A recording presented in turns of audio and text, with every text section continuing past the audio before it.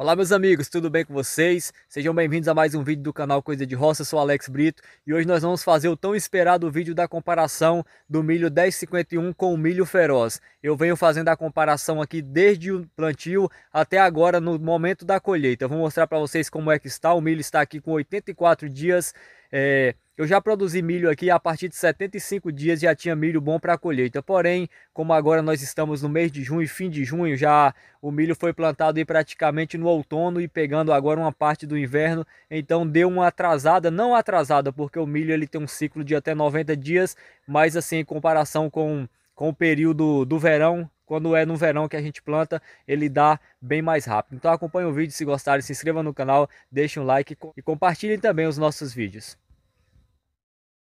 Aqui com os dois milhos. Esse daqui é o milho 1051. Ele é um milho muito bom para poder fazer pamonha, fazer todos os tipos de derivados do milho.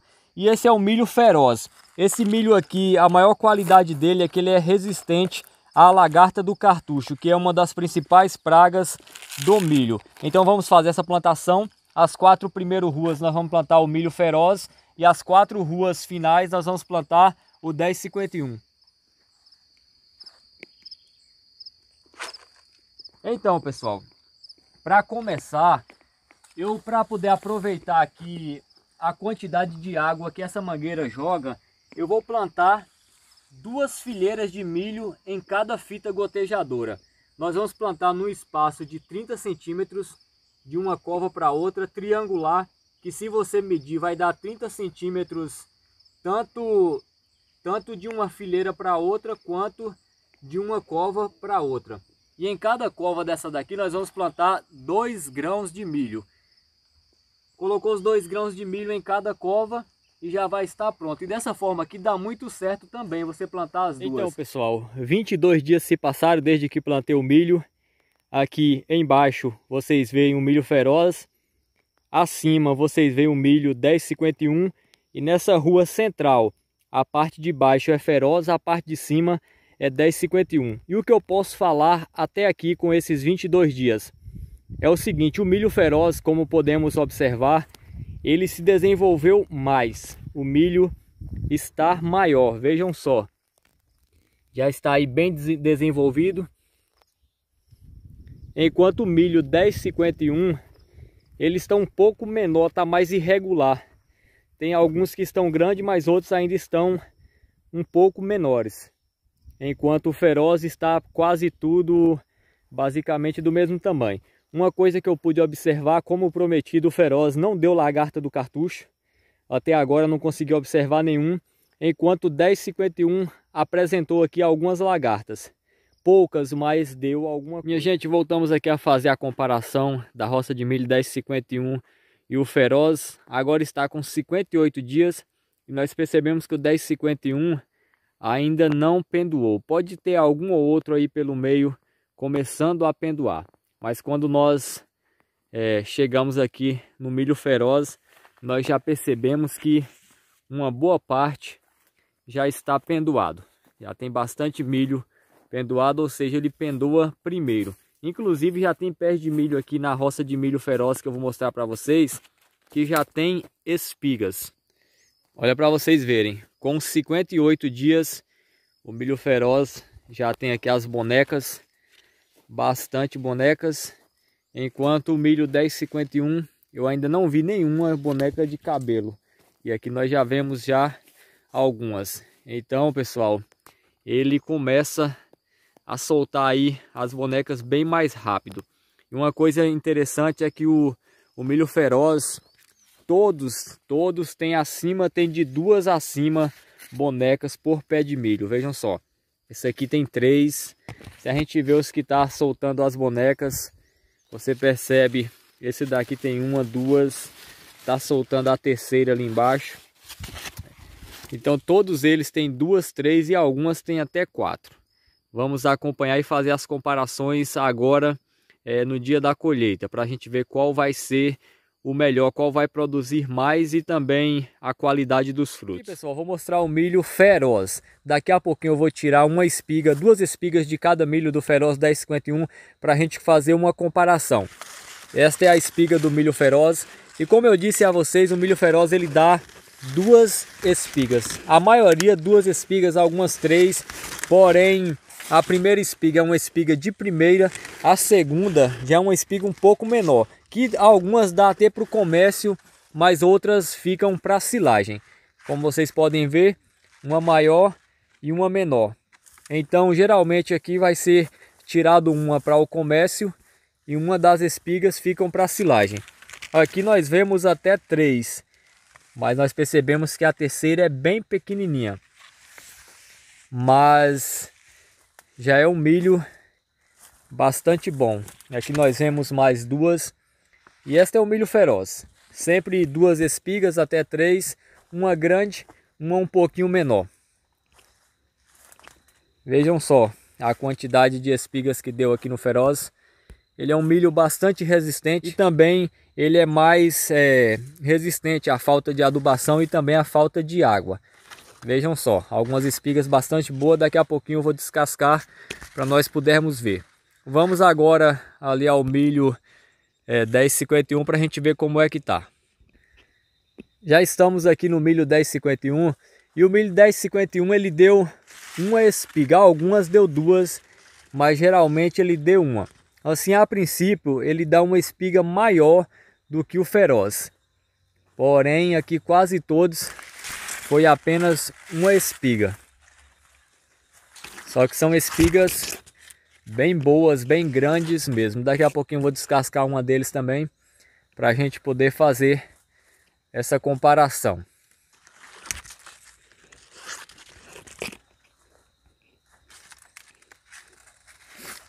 E o milho feroz ele deu mais rápido. Aqui nós vamos perceber que o milho 1051 com os 84 dias ainda vai estar um pouco mole, mais mole do que o feroz. Embora, pessoal, já produzi aqui, tem até vídeo no canal, o milho 1051 com 75 dias e já estava com a espiga toda formada no verão. Porém, agora no período mais frio, não que aqui seja frio, mas assim, um clima um pouco ameno, o feroz ele se saiu melhor. Aqui, pessoal, nós temos o milho feroz aqui descascado, duas espigas deu nesse pé. E vejam só, duas espigas de qualidade. Essa é a segunda espiga. Essa é a primeira espiga. E ficaram aí espigas de muita qualidade. Aqui na frente nós vemos que tem mais aqui com duas espigas, embora essa espiga esteja um pouco menor. Mas está muito bom. E aqui é o milho 1051, também com os mesmos 84 dias. Nós percebemos que ele está bem mais verde. A sua espiga é bem grande, mas nós vemos que ainda não tem a formação de grãos completo. Esses grãos aqui ainda estão líquidos. Vejam só. E ele deu apenas uma espiga. A maioria deu apenas uma espiga. Quando dá duas, a outra está um pouco mais fraca. Mas as espigas também muito boas. Um Agora, meus amigos, do lado esquerdo da tela nós temos duas espigas do milho feroz. Aqui estão as duas espigas do feroz. Do lado direito, as duas do 1051. Vou descascar aqui agora para a gente ver como é que está por dentro. Minha gente, por incrível que pareça, as espigas do feroz, essas duas, estão maiores até do que a espiga do 1051. Vejam só a diferença. Essa essa daqui, que é a 1051, ela está bem grande, mas nós percebemos que a maior do Feroz ela é mais grossa e, praticamente do mesmo tamanho. Veja só a diferença aí. E o que nós percebemos é que o milho feroz ele, ele está mais maduro. Na verdade aqui está um milho verde, só que já pronto para poder comer assado, fazer mingau, é, comer cozido. Enquanto o milho 1051 com 84 dias ainda está bem molinho, dá para comer, mas ainda não fechou todos os grãos. Ainda tem grãos aqui que, que ainda não chegou no ponto. Então ainda falta alguns dias, pelo menos uma semana, para ele ficar é, no ponto de, de comer, fazer pamonha e fazer os derivados. Eu vou abrir os milhos aqui ao meio para me ver quantas fileiras tem em cada um. Em relação à quantidade de fileiras, pessoal, esse aqui, o 1051, tem 20 fileiras de milho. Então é bastante fileira, ainda está um pouco pequeno aí os grãos porque ele está verde, ainda vai crescer um pouquinho mais. E ele tem bem pouco sabugo, dá para perceber aí. Vamos ver agora é, o milho feroz. Aqui está o milho feroz. Eu vou contar aqui a quantidade de grãos. O milho feroz ele está aí com 18 fileiras, então duas fileiras a menos que o 1051 e ele tem um pouco mais de sabugo. Então, só que ele está um milho também muito bonito e é um milho que com certeza vai dar bastante rendimento. Em relação ao tamanho das espigas, meu palmo tem mais de 22 centímetros. Então veja só, a espiga está aqui do tamanho do meu palmo. Essa daqui é o 1051 e aqui é o milho feroz. Então tá aí por, por volta de 21, 22 centímetros o tamanho das espigas. Então pessoal, nós fizemos aqui a comparação dos dois milhos. Nós percebemos então que os dois milhos são bons. Os dois milhos são bons e eu já assei o milho dos dois e estão bem doces, bastante doce, todos os dois milhos. É... Então o 1051 ele produziu um pouco menos, com, com condições é, um pouco abaixo, condições de manejo é, com alguma deficiência o milho feroz saiu melhor. Ele produziu aí duas espigas, enquanto o milho 1051 uma espiga. Para fazer a silagem, é, o feroz é melhor porque você vai tirar uma espiga para vender, ainda sobra uma espiga para silagem. Enquanto no, no 1051, se você tirar uma, já não vai ficar espiga, vai ficar somente a palha e já não é o ideal para silagem, né? Porque vai ficar uma silagem pobre. Agora é claro que se você for fazer o manejo corretamente, o 1051 ele pode produzir dois, duas, três, até quatro espigas que nós vamos ver no vídeo é, completo da adubação que eu fiz na roça do milho 1051 e está soltando lá bastante espigas. Pois é pessoal, este foi um vídeo bem simples mesmo, só para a gente poder fazer essa comparação e aí vocês que vão tirar as suas próprias conclusões. Vocês vão ver desde o início e agora no final, como eu mostrei aí as espigas, né? O 1051 ele deu 20 fileiras, enquanto o Feroz deu 18. Claro que pode ter algumas alterações, algumas espigas com mais ou com menos, mas assim, é, na média, para rendimento de pamonha, o 1051 dá mais. Agora, para silagem, é melhor mesmo o feroz. Eu acho dessa forma, se você...